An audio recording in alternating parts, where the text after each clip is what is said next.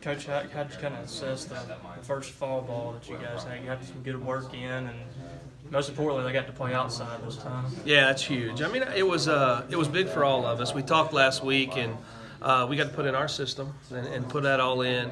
We got to evaluate the program, what we had, what we didn't, what we're having to recruit. Um, and then it's a relationship building piece that we're building relationships with the players, and it's vice versa. They're getting to know us, and we're getting to know them a little bit. Um, there's a lot more work to do, but I feel pretty good at where we're at right now. Had a really good mixture of, of returning talent and some high end players too, like JT Ginn, some of those guys that uh, a lot of those guys looked and kind of felt college ready. Just how did how did you see those two mesh? I thought it was good. I mean, we do have a lot of older guys. It's just a, it's a new coaching staff, new system, so they're learning too. I mean, some of them are learning for you know the four system for four years, but it was good. And then they helped the younger guys out. We do have a very talented uh, incoming class, so I'm thinking a lot of those guys will really help us. And some of them are young freshmen, but some of them are JUCO players that have a chance to help us too. So um, I like the chemistry of where we're at. Coming out of fall, do you, do you kind of in your mind know who your starting nine would be? That sort of deal. Is there still a whole lot of still a lot of fighting to be done when, when, when practice opens up in February? You know, we don't have a ton of depth, so there is a good point that you know who your center fielder is going to be or who your right fielder is going to be. Uh, we're trying to develop in some areas um, some different lineups. You know, who can play here? So we're doing a lot of that right now. Who can play second? Who can play third? Who could play left field if we had a, possibility there? Um, we do have a pretty older lineup, but you have to show up every day and earn it too. So um, the pitching staff's where a lot of the competition is right now. Um, we got a couple established guys, but a lot of them, you know, are here for the first time trying to win a job. Who did you try at second and third? Well, we have Justin Foscue played a lot of third, and he also played a lot of 2nd So um, Landon Jordan, a freshman, had a really good fall, and uh, we played him at second, and he wasn't really good. And we played him at third, and he was really good. So sometimes you have to figure that out. I think he would tell you that, but he had a really. I think he led us in hitting all fall, and he's got a chance to be a really good player. Um, at second base, Gunnar Halter played there some. Um, Anthony Hickman played there some. Uh, Tanner Allen, we've made that switch and tried to play there and, and play some guys at first. So we're trying to develop a little bit of chemistry to where we could play a couple different lineups um, because, like I said, our depth's not great, especially in the middle of the infield. Do you know? Have you have? Do you have an idea what your strengths on this team will be? I, I think um, some some of that older leadership. I think the grittiness our team's really played. Even in the World Series, it's like everybody stepped up and played a, l- a little bit better. There's some veteran guys.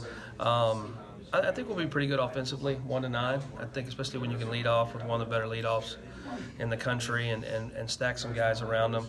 Um, and I think our pitching. I think our starting pitching. We'll really need to find out our bullpen piece, but I think our starting pitching. Uh, we have four or five really good candidates possibly to get out there and, and get us deep into games. Where does JT fit into this, uh, um, pitching wise? uh, probably one of the starters. I mean, he had a really good fall. I think he had one rough outing, but uh, his other outings were really good, very talented. Um, he's working as a position player too, so he's played some second, some short, some third. We just got to take care of his arm in between, so that makes it tough. But he um, he's fighting for one of those starting jobs. You mentioned the bullpen pieces. How close are Spencer Price and Riley Self to be on schedule to be back in the spring? The, I, I, would think when we get started, Riley will be full speed with us, um, and then Spencer will be. You know, he's working every day. I think he had a bullpen Friday, so he's still on track with everything.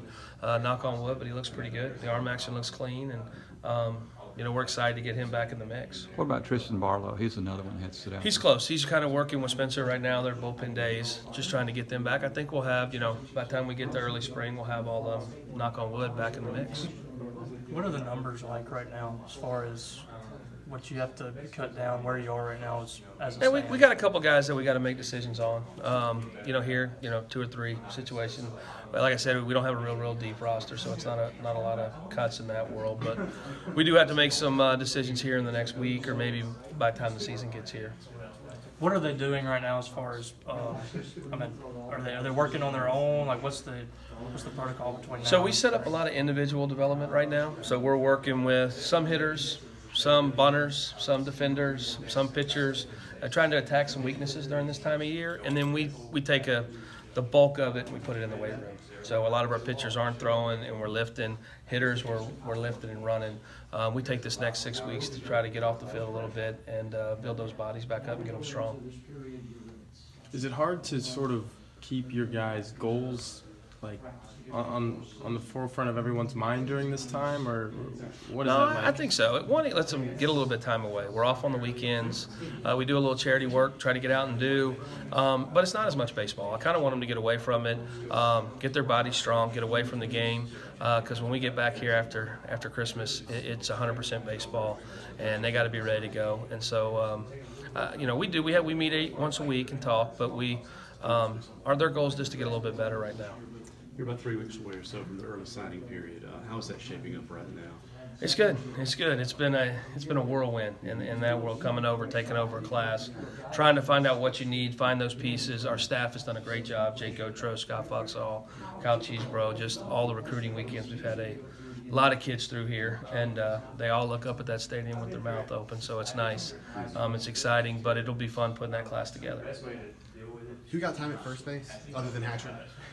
Hatcher and Tanner Allen. Okay. Tucker Childers a little bit. We have some other guys who could play over there, but for the most part, even JT Ginn played over there a little bit. So we have some guys who can play, you know, but mainly Tanner and Josh Hatcher. So with so many options in, in the infield, is the race for designated hitter going to be one of the more hotly contested ones on this roster? I think it could be. I mean, I, I think um, it's going to be a matchup piece. So who's matching up? How are we playing? Who's hot? Um, it's hard to be the everyday DH all year long. I mean, we have a couple catchers who can hit a little bit too. So we're we're fighting that world behind the plate, and um, you know, I just think it's the matchup piece.